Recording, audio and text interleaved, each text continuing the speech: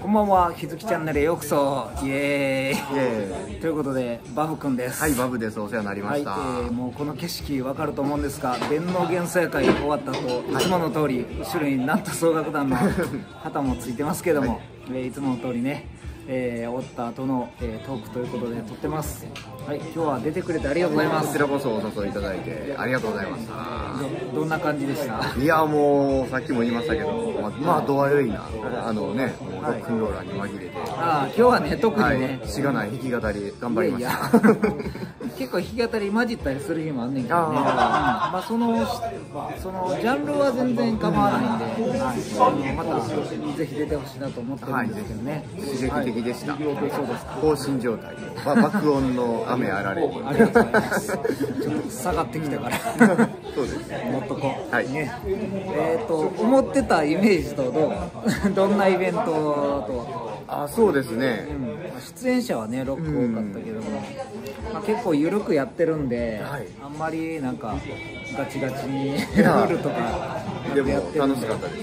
いや、もう真の本当の姿の水木さんはい、こっちが多分本領発揮なんだろうなっていう。いつもねバンドやってるやってると言いながら、え。あんまりねバンド姿見たことなかったもんね。そうですね。うん弾き語りの場でしか会わないからはい、ね、今日はその真の姿を拝見して よかったです。いやよかったですはい、かっこよかった。はい。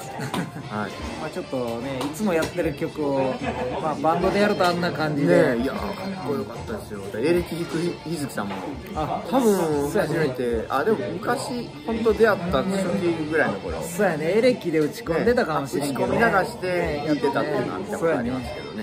はいもうねミュージックファンクション出ても最近ずっとうっかりですね、アコギで。まあ2つの顔が使い分けるということでいやでもバブ君良かったよいやー、そうですあか。のお正月の歌やってくれると思ってたけど今日はもうね、もう時期的どっに、ぷり今日はやらなあかんと思って。みんなも喜んでたからね 良かったなと思ってなんじゃこりゃって感じで。なんかね、ここにあの出てる人たちとかね、ええあの個性的な人を連れてくればみんな喜ぶから、あそうですか。今だから、ね、日良かったですか。よかった、めっちゃよかったよ。よかった。やっぱりね、ああいう歌を歌うのは、こう圧倒的な歌唱力がないといや、ね、そう。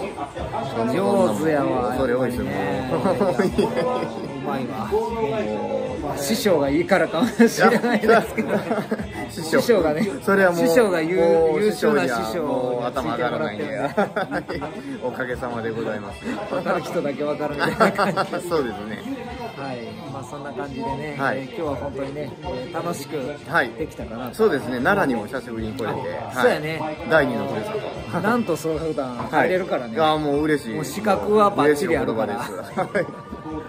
またぜひ来てくださ。はいい、ぜひまたよろしくお願いします、はい、よろしくお願いします。